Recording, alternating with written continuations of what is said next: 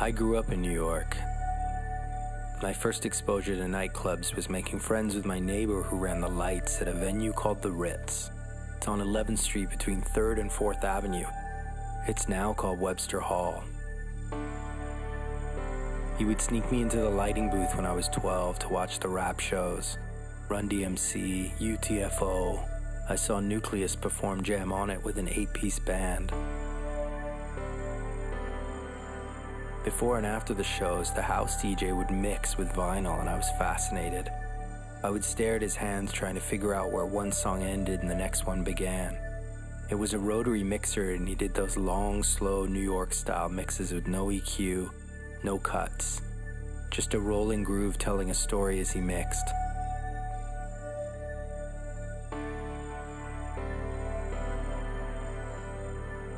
In this day and age of low attention spans and instant gratification, something I'm guilty of myself, it felt very special to have such an open minded crowd at this show.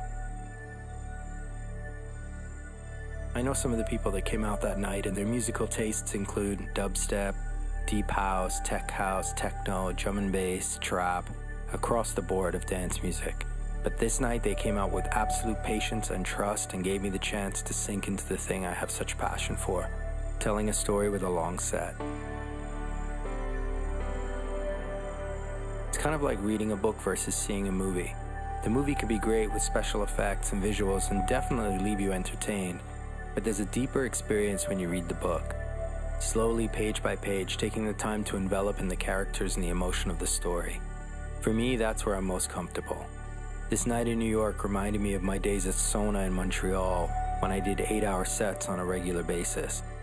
I would stop at 10 a.m. and we'd sit outside the parking lot on the hood of the promoter's car, and you could still hear people on the dance floor making beats with their hands and feet, asking for one more, not wanting to leave.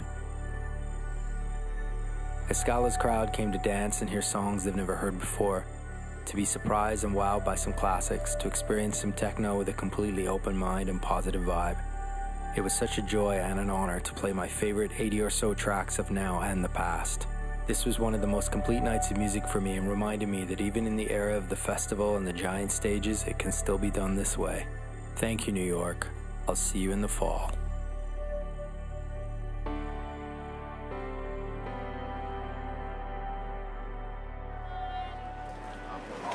What a night. And much talking.